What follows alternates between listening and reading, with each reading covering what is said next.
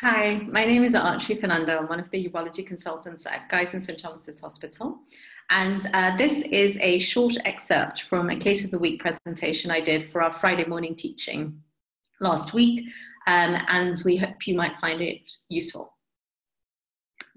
So the case is of a young gentleman who has a residual mass following chemotherapy for metastatic testicular cancer. And we had to have a conversation about uh, the rationale behind treatment, the uh, significant risks of surgery, the approach to surgery, whether we would do it open or robotically, and we had to talk about timing for the operation as well. And what was unusual about this case was I had to do the whole consultation via telephone. Um, and that's something that I haven't used in this sort of a situation. Um, with these kind of patients who've often been left, uh, let down by their disease uh, several times, it's so important to build trust and to build a connection. Um, they also haven't seen our service and our setup. And I really wanted to get it right. And that was really the case that got me thinking about telephone consulting. Now, we've all seemed to have moved the majority of our consulting to telephone. And I don't know about you, but I haven't had any uh, formal training in telephone consulting. Um, and the inclination is to think that it's very similar to face to face, but actually that doesn't seem to be the case if you look at the data. Now, the next uh, slide is a word cloud about some of the pros of telephone consulting. So you might want to think for yourself what some of those things might be. I think that offering telephone consulting more frequently is really a step towards true patient centered care. Getting the patient to leave their house or their work and travel all the way to the hospital to sit in a crowded waiting room where their name is called out loud for everyone to hear and then have quite sensitive information discussed with them and then be put back out into the waiting area has never really struck me as true patient-centered care. And you can see some of these um, other things like cost and efficiency uh, might be some of the pros of more um, frequent telephone consulting. Now, this is something about the cons of telephone consulting. And rightly, there are some reservations about uh, the use of telephone consulting. And what you find when you look at the data is that a lot of these reservations are actually from medics themselves. Um, a lot of the patients, even older patients, prefer telephone consulting if it's done well. And in fact, the data shows that there is no detriment to clinical uh, utility or patient satisfaction if telephone consulting is done well. And of course, as with anything, that is the key, is to do it well. Now, what does that mean? What does it mean to do telephone consulting well? And there is a wealth of data out there which you can have a look at for yourself. Uh, but these are seven quick, easy to implement tips uh, that I found very helpful. Um, and so I'm sharing that with you. Um, so the first thing to say is that if you tell the patient that you're going to ring them at 11.15 a.m it's very unlikely that you are going to be able to ring them at that exact moment. And so it makes more sense to give patients a time window. So a one hour or two hour slot in which they will receive a phone call. Then it's much more likely that you will ring them when you say that you're going to and get the um, consultation started off on the right foot.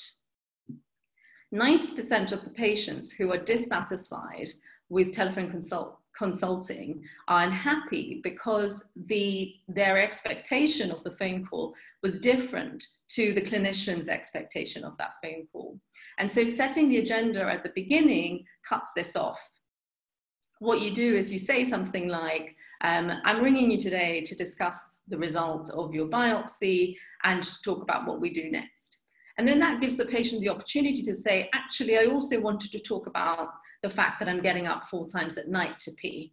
And then you can add that to your agenda and make sure you cover it during the phone call, which makes for a much more satisfying uh, consultation for the patient.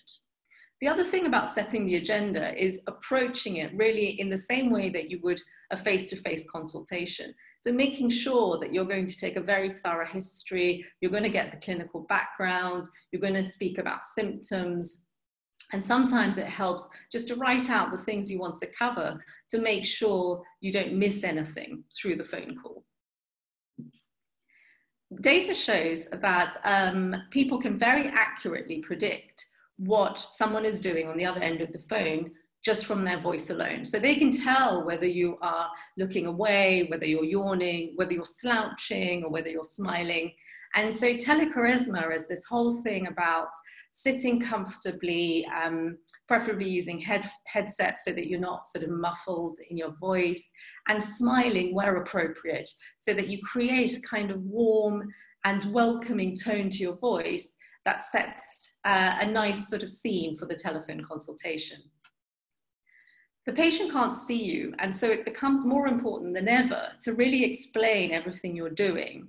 So you say something like, Oh, I'm just going to type in what you just said to me, so that they know what you're doing and they don't hear the typing and think, Oh, she's probably just sending an email while talking to me. Using your words is also about lay language. When the patient is with you, you can tell whether they're um, confused or whether they might not be understanding, but you can't really do that over the phone.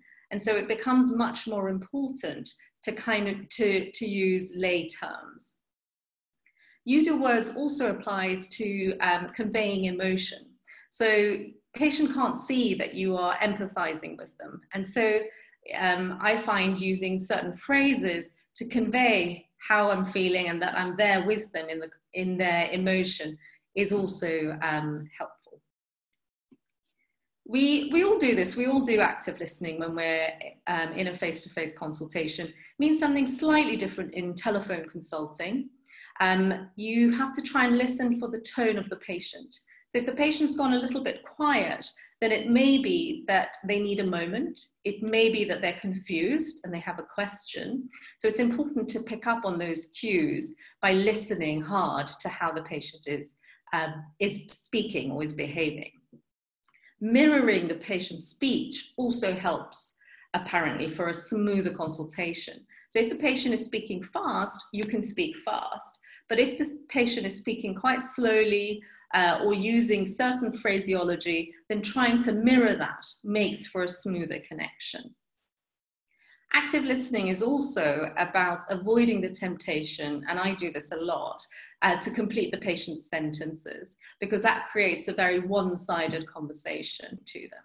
And then, of course, the same thing that you would do in a face to face, using sort of checkpoints to make sure that everything's been understood and it's clear before you move on to talking about more things documentation. It is important that we document for ourselves, but this is about inviting the patient to document. So at the beginning of the call, giving the patient the opportunity to get themselves a pen or a paper, pen and piece of paper, so that they can jot something down. Um, often patients in a face-to-face will ask you to write down certain things, uh, long terms that they may not have understood. And of course, they can't do that over the phone. So give them the opportunity uh, to, uh, to stop you, get you to repeat things or spell things if they need to, um, and they will then feel comfortable to do that. Ending the consultation well is just as important as all of the other tips. And I think um, giving them a summary at the end with the plan and also what to expect. So I'm going to send out a letter, you'll receive that letter in a couple of weeks' time, and so will your GP, and I will make you a follow up appointment. Also asking them if there's anything else that they needed to talk about is a good thing. They say that uh, you shouldn't feel any pressure to make a decision uh, just because you're on the phone. You can say to the patient, and patients don't mind this, um, I just need a little, uh, a couple of days to think about it, so I will ring you back, or I uh, would like to discuss that with my colleagues, and so let's make another phone consult for next week patients like it if you sign off in a familiar way. It was lovely to chat. Um, I hope you found the consultation helpful. Look forward to uh, speaking to you soon. Something like that. So those were a few tips that really helped me build a connection with this patient that I really didn't think was possible over the telephone. Um, and so uh, we hope that you will find these tips helpful too.